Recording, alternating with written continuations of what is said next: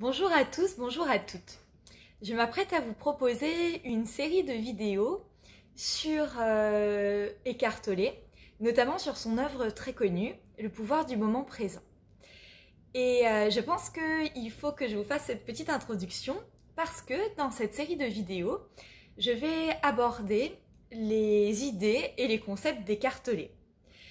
Certains d'entre vous qui sont euh, familiers de cet auteur sont peut-être en train de se dire Oh mon Dieu, elle fait n'importe quoi. Euh, parce que Écartelé n'a de cesse de dire qu'il ne s'adresse pas à notre mental, qu'il ne se sert de des mots pour s'adresser à notre mental que comme un pis-aller, comme une voie d'accès euh, éphémère, un passage obligé duquel on se passerait bien, et qu'il n'utilise que parce que nous avons un mental tellement hypertrophié qu'il faut d'abord passer par lui pour nous ouvrir l'accès à la spiritualité et à la sagesse. Et moi je débarque et je vous dis, dans une série de vidéos, je vais m'attacher aux idées et aux concepts d'écartelé. Alors, comme je veux pas que vous pensiez que je fais n'importe quoi et que je n'ai pas compris l'enseignement d'écartelé, je vous livre ici euh, une petite légitimation de ma démarche. En effet, euh, la, part, euh, la part du mental dont traite Écartelé et tant d'autres, je la connais bien. cette part du mental qui s'approprie les idées, qui les, les, les, ronge, qui, qui s'en empare, qui fonctionne par compulsion, c'est-à-dire c'est pas moi qui euh, demande à mon mental de s'emparer d'une idée, mais c'est mon mental qui y va tout seul et qui part en cacahuète euh, euh, de manière quasi autonome, cette part-là, je la connais bien. J'ai un big fat mental bien, bien présent et c'est même lui qui me conduit à me tourner vers des ouvrages comme ceux que j'ai évoqués. cependant, à côté de cette part du mental avec laquelle j'entretiens des rapports extrêmement conflictuels, euh, je possède une autre, euh, euh, une autre forme de mental avec laquelle j'entretiens des rapports extrêmement beaux, très très harmonieux et qui est une source de, joie et de, plaisir illimité. Cette part de mon mental, c'est celle qui m'a accompagnée pendant ma formation, mes études, et c'est celle qui participe à, la floraison de ma vie intellectuelle. Cette part du mental n'est pas un frein à mon accès à la sagesse et à la spiritualité. Cette, euh, part de mon mental, au contraire, euh, appréhende les idées et les concepts pour en saisir l'éblouissement.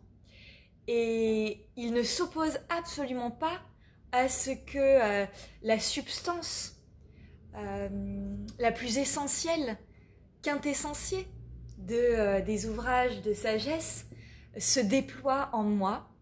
Cette part du mental saisit l'éblouissement, puis s'éclipse pour que mes autres modes d'appréhension de la sagesse et de la spiritualité se déploie en moi pour pénétrer ce territoire merveilleux. En fait, il se trouve que, euh, vous le savez, si vous allez d'un auteur à un autre, euh, vous allez retrouver le même contenu.